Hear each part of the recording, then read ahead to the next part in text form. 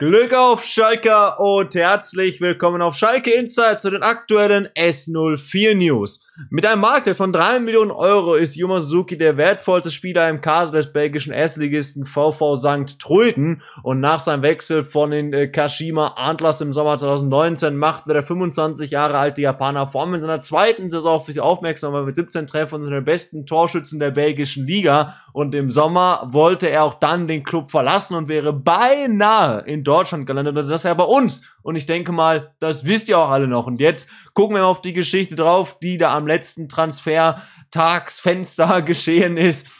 Ähm, denn Suzuki sagte dazu folgendes. Es war lange Zeit italienischer Club im Rennen. Doch am letzten Tag des Transferfensters ging bei Schalke 04 alles ganz schnell. Es gab eine Einigung mit dem Club und auch mit mir. Alle Papiere wurden unterschrieben, aber wir waren zu spät. Der Deal war also nicht offiziell, sagt Suzuki in einem Interview mit der belgischen Zeitung Hit Newsblatt. Für die Königsblauen wäre ja Suzuki der insgesamt 17. Ex in Neuzugang gewesen und auch die belgischen Topclubs FC Brügge und erste Anderlecht war nach eigenen Aussagen des Mittelstürmers interessiert.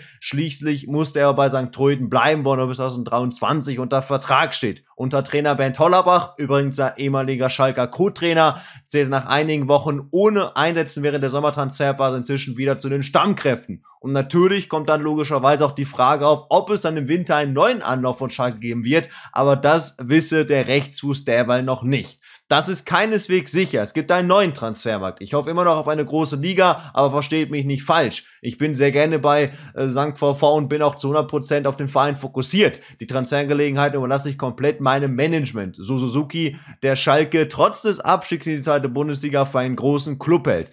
Es ist ein Verein mit einem guten Ruf in Japan. Das liegt auch an Atsuto Oshidas Vergangenheit dort. Ich sollte sogar mit seiner Trikotnummer spielen. So also Yuma Suzuki über den geplatzten Deal. Eine Kleinigkeit, die ich sehr, sehr spannend finde, ist wirklich das mit der Trikotnummer, dass die an sich sozusagen schon klar war, aber es doch nicht mehr möglich war, das ganze Ding offiziell zu machen. Schade auf jeden Fall. Ich, ich glaube wirklich, dass Suzuki von seinen Anlagen her und mit einer gewissen Erfahrung, die er aus Belgien mitbringt, plus Potenzial, wirklich ein spannender Spieler für uns gewesen wäre als Matthew Hoppe-Ersatz. Schade, dass es nicht geklappt hat. Vielleicht klappt es noch, weil noch einmal das Gesamtpaket finde ich immer noch richtig, richtig gut und ich glaube auch, dass er sehr, sehr gut vorne bei uns reinpassen würde. Eure Meinung zu Yuma Suzuki gerne mal in die Kommentare und dann sehen wir uns im nächsten Video wieder. Macht es gut, ciao und Glück auf an alle Schalker.